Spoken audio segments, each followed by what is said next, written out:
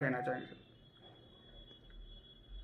राजीव शुक्ला जी मुझे लगता है कि अभी प्रदेश में आए हैं। मुझे लगता है कि पहले वो प्रदेश में कांग्रेस पार्टी को समझ लें। कांग्रेस पार्टी में कौन नेता है ये तय कर लें। कांग्रेस पार्टी छह सात धड़ों में बंटी है उसको समझ लें और उसके बाद वो इन विषयों पे टिप्पणी करें। जहाँ तक आ, किसान का जो ये जो विधेयक भारतीय जनता पार्टी की सरकार केंद्र में लेके आई है ये वो विधेयक है जिसके तहत किसानों की जो आय है वो लगभग दुगनी हो जाएगी।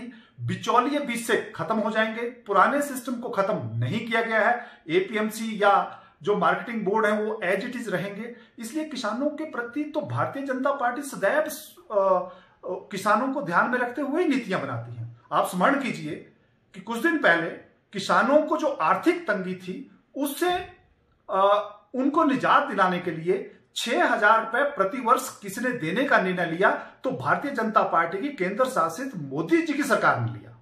कांग्रेस पार्टी को इससे पहले किसानों की याद क्यों नहीं आई? इतने साल उन्होंने देश में राज किया, तब उनको किसानों की याद क्यों नहीं है भारतीय जनता पार्टी किसान हमारे देश की रीढ़ की हड्डी है।